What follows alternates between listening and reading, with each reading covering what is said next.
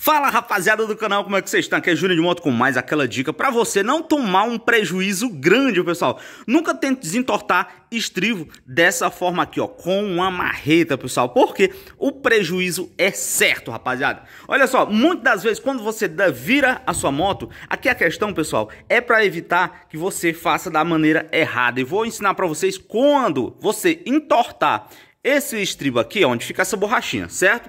Acontece muito de você dar uma viradinha na moto tal. Esse estribo ele entorta muito fácil, certo? Porque o peso da moto vem todo para ele quando, ele quando a moto cai.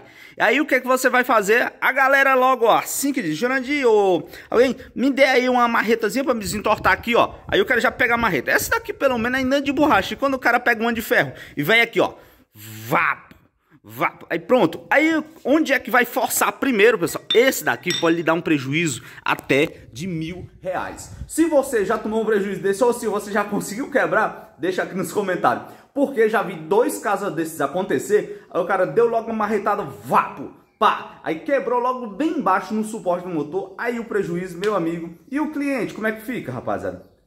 Complicado, viu? Aí depois que eu vi isso acontecer com um colega, meu amigo, pronto, ó, acabou. Agora eu arranjei a forma certa, sempre eu faço de uma forma que isso não venha acontecer, certo? Porque o que quebra é aquelas pancadas de uma vez Entendeu? Porque o estribo ele tá fixo no motor, ele tá fixo não, ele tá parafusado tão firme que ali na a pancada que você der no estribo responde totalmente já na carcaça do motor. Vou mostrar para vocês onde é que fica. Rapaziada, desde já já tá gostando do conteúdo, senta o dedo no like, fortalece a inscrição, deixa aquele sininho ativado porque todos os dias tem vídeozão aqui no canal. Vocês sabem muito bem qual o horário, meio-dia e 6 horas.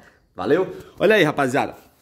Aqui, ó. Eu deixei. E outra, eu trouxe essa bengala aqui, não é à toa, não, é para me fazer o comparativo para vocês como você vai alinhar para não ter esse risco. A primeira vez, quando você dá logo uma marretada aqui, ó, ó, dessa forma aqui, certo? Quando você dá uma marretada aqui, essa pancada responde logo diretamente aqui, ó.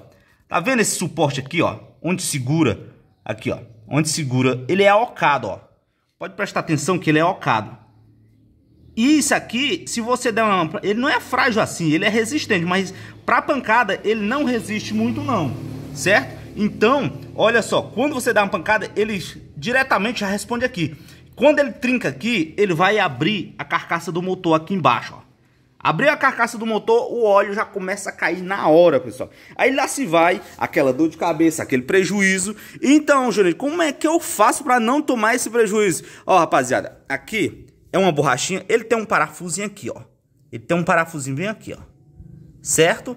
Aí esse parafuso aqui você tira, tira a borracha e você pega uma bengala de moto, uma bengala velha, certo? Aí você vai encaixar no estribo, dessa forma aqui, ó. Você encaixou no estribo e você pode tanto puxar ele para trás ou empurrar ele para frente. Vai depender da posição que você quer deixar. Ou se não, puxar ele para baixo, certo? E isso, se for desse lado, você ainda faz isso, ó. Você baixa o pé, você coloca ele no chão aqui, ó, certo? Para você, se você quiser, aí dessa forma aqui, você pode vir aqui e dar uma pancada. Aqui, ó. Dessa forma aqui, você pode dar uma pancadinha para ele descer, certo?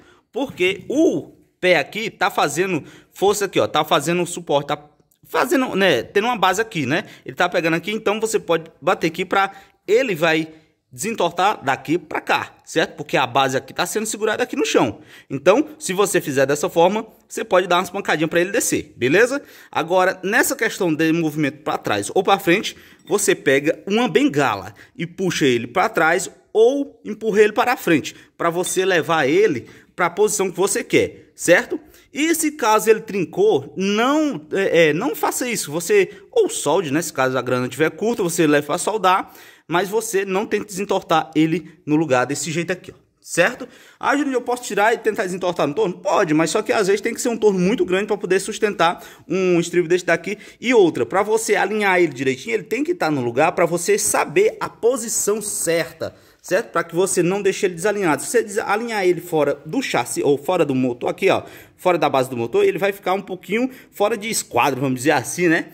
Aí você alinhando ele aqui, ele vai ficar de uma formazinha que você vai conseguir ver o alinhamento com o pedal da marcha e o alinhamento com o pedal do freio, certo? Que vai ficar nessa base de altura aqui. Por isso, você vai alinhar no lugar, pegue a bengala. Quanto maior a bengala, mais força você vai conseguir. Ah, mas com a bengala pode... Não, porque o que quebra a base do motor é a pancada que ele recebe lá. Entendeu? Quando você dá uma pancada aqui, ele responde diretamente lá onde os parafusos estão fixos. Aí você vai quebrar a carcaça do motor. Aí o prejuízo, rapaziada, não vai ser muito bonito. Rapaziada, essa é a dica que eu tô pra vocês hoje. Ó, entortou, levou uma quedinha, desentorte com a bengala, rapaziada, que sai muito mais junto, beleza? Se você não tiver prática, você leve no mecânico e peça ele. E se você vê ele dando essas pancadas logo, Mande parar porque o prejuízo não vai ser legal. E outra, depois que você quebra uma carcaça dessa do lado do, da numeração do, do motor,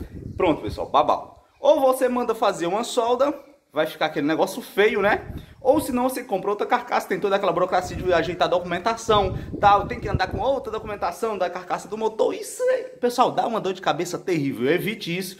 Então, pague 45, 60 ou até 100 reais no estribo novo e tá tudo certo. Valeu, até o próximo vídeo.